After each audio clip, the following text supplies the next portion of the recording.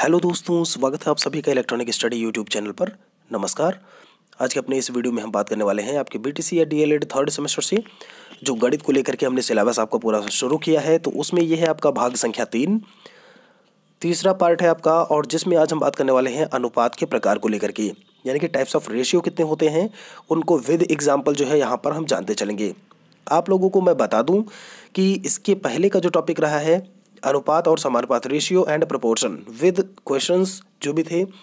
साथ में आपके जो प्रीवियस ईयर क्वेश्चन थे, उनको भी लेकर के हम बात कर चुके हैं। गणित डीएलएड थर्ड सेमेस्टर नाम की प्लेलिस्ट बनी हुई है। वहाँ पर जाकर करके आप उन दो वीडियोस को देख सकते हैं जो इसके पहले मैंने बताए हैं। ये आपका भाग संख्या तीन है और आपको मैं बता दूँ, संस्कृत और मैथमेटिक्स पूरी तरीके से आपका इलेक्ट्रॉनिक स्टडी पर कंप्लीट करवाया जाएगा। बाकी चीज़ें आपकी जो मेन मेन टॉपिक्स है, वही चलेंगे और रेस्ट ऑफ़ द टॉपिक्स के लिए आप अन अकेडमी ज़रूर ज्वाइन करें। लिंक आपको डिस्क्रिप्शन में मिल जाएगी। समावेशी शिक्षा के काफ़ी पार्ट्स मैंने वहाँ पर अपलोड कर दिए हैं जो आपका पेपर टू है। पेपर वन के लगभग बीस वीडियोज़ हो चुके हैं। पेपर टू के लगभग दस या बारह और बाकी जो कंप्यूटर है उसके भी लगभग बारह चौदह वीडियोज़ वहाँ पर हो चुके हैं। तो आप लोग जा करके वहाँ पर ज्वाइन करें, उसको भी देखें। अनुपात के प्रकार, देखिए बात ये है, यहाँ पर आपका थियोरिटिकल चीज़ें भी पूछी जाती हैं, आपके सिलेबस में चीज़ें दी हुई हैं तो हम एक एक करके सबको कंप्लीट करते चलेंगे। दोस्तों, पहला जो प्रकार इसमें लिखा हुआ है, अनुलोम अनुपात, यानी कि डायरेक्ट रेशियो क्या होता है? ध्यान दीजिएगा। तो इसको सबसे पहले यहाँ पर कहने का मतलब यही है कि आप डिफाइन कर पाओ एटलीस्ट कि वो चीज़ होती क्या है। ठीक है, आप उसको बता पाओ। तो यहाँ पर दोस्तों जब आप बात करते हो जो है, एक अनुलोम अनुपात को लेकर के तो एक राशि के बढ़ने पर दूसरा भी अगर बढ़ रहा होता है, ध्यान दीजिएगा, कहने का मतलब है, आपकी एक क्वांटिटी बढ़ेगी तो दूसरा भी बढ़ेगा, और एक के घटाने पर अगर दूसरा भी घटे, ठीक है तो ऐसे में क्या होता है, वो आपका डायरेक्ट रेशियो होता है। आप समानुपात पढ़े हो ना डायरेक्टली प्रोपोर्शनल टू जिसको बोलते हो आप, ठीक है, मान लीजिए ए जो है, वो डायरेक्टली प्रोपोर्शनल है बी के तो यहाँ पर कहने का मतलब ये है कि अगर ए में कोई भी इंक्रीमेंट देखने को मिल रहा है तो बी में भी इंक्रीमेंट देखने को मिलेगा। ठीक है? सेम टाइम पे अगर ए में डिक्रीमेंट देखने को मिल रहा है मतलब कमी हो रही है तो बी में भी कमी देखने को मिलेगी। यही आपका अनुलोम अनुपात कहता है। एक एग्ज़ाम्पल ले लेते हैं और उससे समझ लेते हैं। यहाँ पर लिखा हुआ है जैसे आप जानते हो चाल बराबर दूरी बटे समय होता है। S equal to D by T आप लिखते हो? तो इसको और, और क्या लिख सकते हो? भाई तेरिया गुड़ा कर दीजिए इसको जो है। एस का टी से मल्टीप्लाई हो जाएगा डी का वन से मल्टीप्लाई हो जाएगा तो डी इज़ इक्वल टू कितना आ जाएगा आपका? एस टी या एस क्रॉस टी डी क्या है आपकी दोस्तों? दूरी है। एस आपका जो है स्पीड है, चाल है, और टी आपका जो है वो समय है। यहाँ पर यही कहा जा रहा है कि अगर आप दूरी को, ध्यान दीजिएगा, अगर आपने मान लीजिए चाल को, यहाँ पर ये ले लीजिए, दूरी ले लीजिए, चाल ले लीजिए मान लीजिए आपने चाल को बढ़ाया तो दूरी भी बढ़ेगी, या अगर आप दूरी को बढ़ा रहे हैं ऑब्वियसली चाल को बढ़ाएँगे तो दूरी बढ़ेगी और अगर आप चाल को घटा रहे हैं तो दूरी भी घटेगी। ठीक है? ये कहने का मतलब है, जब आपको लेकर के बात की जाए अनुलोम अनुपात को तो आप चाल बराबर दूरी बटे समय में दूरी बराबर चाल गुड़े समय कर दीजिएगा और वहाँ से आप इसको डिफाइन कर दीजिएगा। क्योंकि यहाँ पर जो डी है वो डायरेक्टली प्रोपोर्शनल किसके है? स्पीड के चाल के। उम्मीद करते हैं ये चीज़ आपको समझ में आई होगी। देखिए, दो चीज़ें होती हैं। पहले हम प्रतिलोम पढ़ लेते हैं, फिर आपको हम समझा देंगे। आपका क्लियर हो जाएगा, फिर आप बोलोगे नहीं कभी कि आपका ये प्रतिलोम अनुलोम मतलब क्या है? समानुपाती और व्युतक्रमानुपाती, वही लिखा हुआ है यहाँ पे। प्रतिलोम अनुपात क्या होता है या व्युतक्रम, एक तरीके से बोल सकते हो? Inverse ratio. तो दोस्तों, आप सभी को पता है, जैसा कि अभी मैंने बोला, चाल बराबर आपका दूरी, बटे समय यानी कि डिस्टेंस अपॉन टाइम होता है।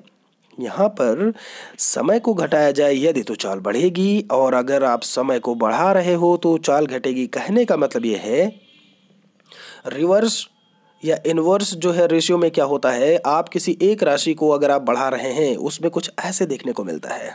जी हाँ ये ये क्या है और एक ये होता है। दो चीज़ें होती हैं आपकी, ठीक है? यहाँ पर जो पहली वाली है, ये प्रथम है और ये आपकी दूसरी है। जो पहली वाली है, वो आपका इन्वर्स रेशियो को बताती है, प्रतिलोम अनुपात को। कहने का मतलब ये है, अगर वन वाले में, इसमें अगर ए बढ़ रहा है तो बी कम होगा।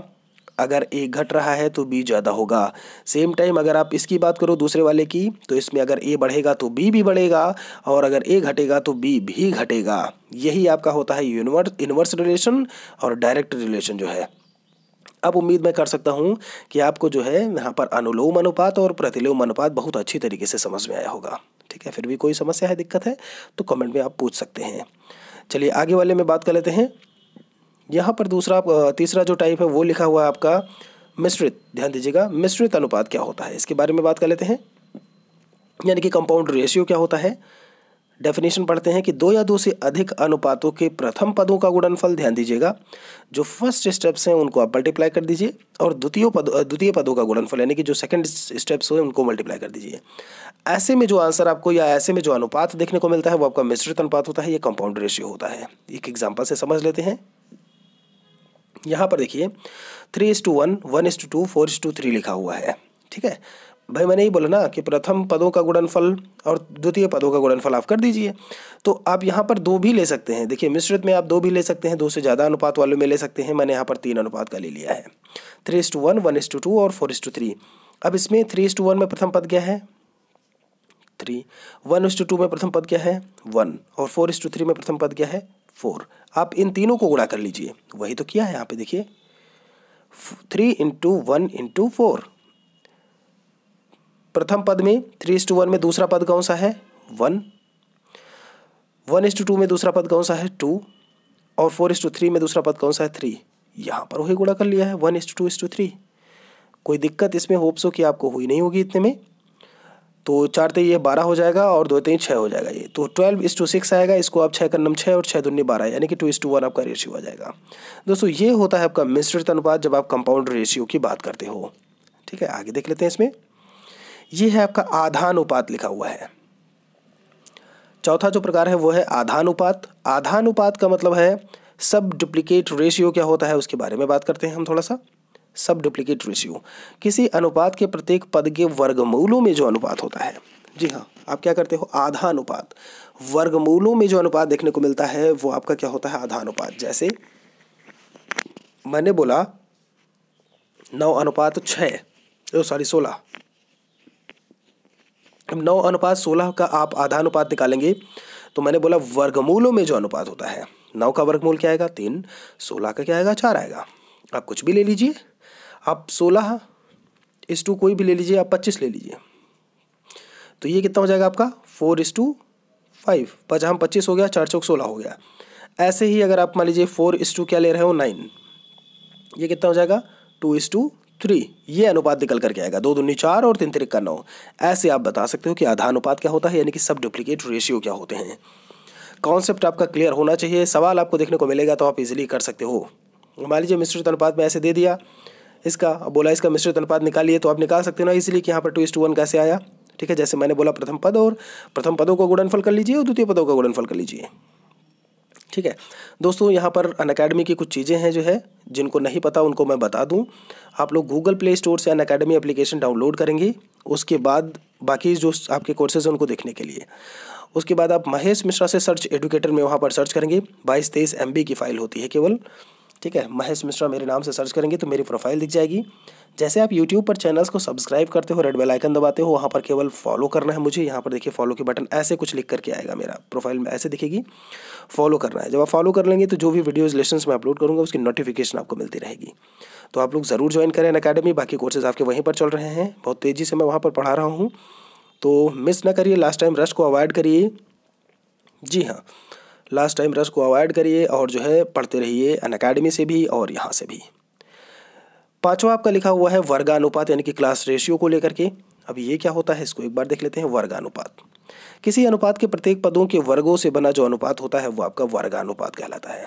ध्यान दीजिएगा आधा अनुपात क्या था? आपने उसका वर्गमूल से जो अनुपात था और यहाँ पर क्या है प्रत्येक पदों के वर्गों से अनुपात।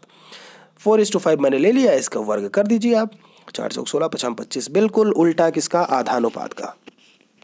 वर्गानुपात किसका उल्टा होगा? आधानुपात का। ठीक है? तो आपने देखा सोलह इस टू ट्वेंटी फाइव दिया होता तो आप उसको क्या लिख देते? Four is to to फिफ्ट five अभी तो हम पढ़ के आए हैं ऊपर ही। ठीक है? वर्गानुपात उम्मीद करते हैं समझ में आएगा तेरह अनुपात क्या होता है? यहाँ पर देख लेते हैं। सिक्स ट्रिप्लिकेट रेशियो किसी अनुपात के प्रत्येक पद, ध्यान दीजिएगा, किसी अनुपात के प्रत्येक पद के घनों से बना जो अनुपात होता है, वो तेहरा अनुपात या तेहरा अनुपात अलग अलग संधि विच्छेद कर लीजिए आप इसको, विग्रह कर दीजिए ट्रिप्लिकेट रेशियो कहलाता है। जैसे टू इस टू थ्री का मान लीजिए तेहरा अनुपात निकालना है तो मैंने बोला घन तो दो का घन कितना आएगा? दो दुनी चार दुनी आठ, भाई ऐसे तो निकालते हो घन मतलब तीन बार गुणा कर दीजिए। आठ आएगा। आप तीन का घन निकाल लीजिए। तीन गुड़े तीन गुड़े तीन। तीन त्रिक उतरिक सत्ताईस। वही यहाँ पर लिखा हुआ है। एट इस टू ट्वेंटी सेवन। यानी आठ अनुपात सत्ताईस का अनुपात देखने को मिलेगा। ये होता है आपका ट्रिप्लिकेट रेशियो या तिहरा अनुपात। आगे देखते हैं इसमें। एक इसमें लिखा है, तिहाई अनुपात क्या होता है? एक तिहरा अनुपात है और एक तिहाई अनुपात होता है। और ये दोनों दोस्तों एक दूसरे के उल्टे होते हैं। जिस प्रकार से आधा अनुपात और आपका कौन सा था? जी हाँ आधा अनुपात और वर्गानुपात। उसी प्रकार से तिहरा अनुपात और तिहाई अनुपात आपके एक दूसरे के जो है अपोजिट होते हैं, उल्टे में देखने को मिलते हैं।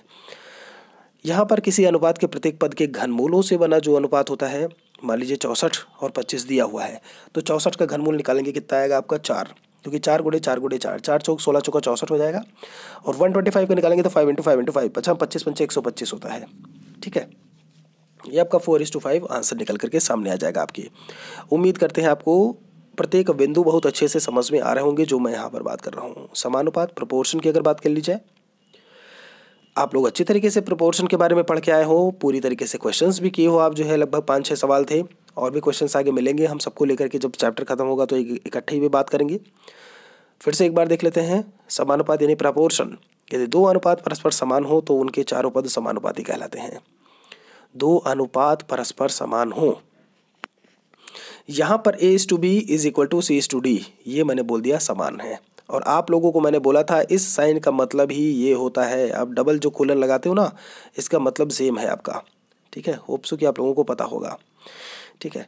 तो यहाँ पर किसी ने पूछा था एक सवाल में कि, सर, जो है ये इक्वल टू वाला, ये कैसे हो गया? क्योंकि वहाँ पर उसने बोला है कि कि आप समानुपाती साइन लगा करके बताइए। एक सवाल था पिछले वाले उसमें जो है तो अगर वो वीडियो देख रहा हो वो समझ कोई जो है मैम थी जो है उन्होंने पूछा था तो प्लीज़ आप जो है इसको यहाँ से कंसिडर कर सकती हैं, देख सकती हैं, ठीक है? इसका मतलब ये हुआ इक्वल साइन है, अगर बोला है समानुपाती के साथ में रिप्रेजेंट करिए तो ये समानुपात का साइन आप ये वाला लगाएँगे फिर, ठीक है? बाकी इक्वल तो होता ही है वो। तो A is to B is equal to C is to D यहाँ ए बी सी डी क्या है? परस्पर समानुपाती कहलाते हैं, ध्यान दीजिएगा। इसमें A divided by is equal to C divided by D आप ऐसे भी लिख सकते हो, आप उनको ऐसे भी लिख सकते हो। होप सो इसमें आपको कोई प्रॉब्लम नहीं हुई होगी। या आप ऐसे लिख लीजिए ए अनुपात बी, यहाँ पर डबल वो, और यहाँ पर क्या है सी अनुपात डी आप ये भी लिख दीजिए, ये भी सही है आपका जो है। ठीक है, उम्मीद करते हैं आपको यहाँ से भी चीज़ें अभी समझ में आ रही होंगी। ये कलर थोड़ा, ठीक है ओके चलिए, आगे बात कर लेते हैं इसमें। एक आपका इसमें लिखा हुआ है वितता अनुपात जी हाँ ये है नवा और अंतिम प्रकार जो है वितता अनुपात यानी कि कॉन्टिन्यू प्रपोर्शन इसको देख लेते हैं क्या होता है। यदि तीन राशियाँ इस प्रकार हों कि पहली राशि अनुपात दूसरी राशि, मैं यहाँ पर पढ़ रहा हूँ। पहली राशि अनुपात दूसरी राशि इक्वल टू दूसरी राशि अनुपात तीसरी राशि हो तो तीनों में वित्ता अनुपात यानी कि कंटिन्यू प्रपोर्शन देखने को मिलता है। वो कैसे? देख लीजिए। मैंने बोला एक राशि कोई, मान लीजिए आपकी ए है, दूसरी राशि उसकी बी है, ठीक है? और यहाँ पर भी अगर बी है, और यहाँ पर भी अगर सी है, ये वित्तता अनुपात होता है कॉन्टिन्यू रेशियो होता है, क्योंकि ए के बाद बी आया बी के बाद फिर से यहाँ पर बी बी के बाद फिर सी आया। ठीक है? तो आप इसको कैसे लिख सकते हो? A upon B is equal to B upon C त्रिय गुणा कर लेंगे तो कितना आएगा आपका ये? B square equal to A C वही तो लिखा हुआ है यहाँ पे, देखिए। B equal equal to B square equal to A C लिखा है। और इसको आप क्या लिख सकते हो? B is equal to root A C हो जाएगा। क्या हो जाएगा? रूट ए सी ये क्या हो जाएगा? B is equal to root A C आ जाएगा। और ये आपका क्या बता रहा होता है? एक बी की वैल्यू को आप जब निकाल रहे होते हैं और यहाँ पर बी क्या है? एक मध्यानुपाती है। मध्य अनुपाती है। पहला अनुपात आपका कौन सा है? ए और जो तीसरा अनुपात है वो कौन सा है? आपका सी है। जबकि मध्य अनुपाति कौन सा है? बी है। दोस्तों, उम्मीद करते हैं इतनी चीज़ें आपको जो है अनुपात के प्रकार में समझ में आई होंगी। कोई भी पॉइंट ऐसा नहीं रहा होगा जो आपको समझ में ना आया हो। फिर भी कुछ अगर स्किप किया हो तो एक बार कमेंट में पूछ लीजिएगा। इसके बाद आपके एम जो क्वेश्चन होते हैं सॉरी जो न्यूमेरिकल्स हैं, उनको लेकर के हम बात करेंगे। जिन्होंने चैनल को सब्सक्राइब नहीं किया है प्लीज़ इलेक्ट्रॉनिक स्टडी चैनल को सब्सक्राइब आप ज़रूर कर लो। रेड बेल आइकन को भी ज़रूर दबाना बिल्कुल से ना भूलिएगा। नोटिफिकेशन की बटन होती है, आपको नोटिफिकेशन मिलता रहेगा। वीडियो को जितना ज़्यादा हो सके शेयर करें और रिक्वेस्ट है आपके जो सेकंड सेमेस्टर वाले हैं, जो आपके जूनियर्स हैं, उनको बताएँ कि मैथमेटिक्स तो पूरा आपका इलेक्ट्रॉनिक स्टडी पर बताया ही गया है। साथ में पूरा उनका कोर्स अन अकेडमी पर अवेलेबल है सेकंड सेमेस्टर का तो लोग वहाँ से जा करके देखें। मिलते हैं अपने अगले वीडियो में एक नए टॉपिक को लेकर के। तब तक के लिए आप सभी का बहुत बहुत धन्यवाद।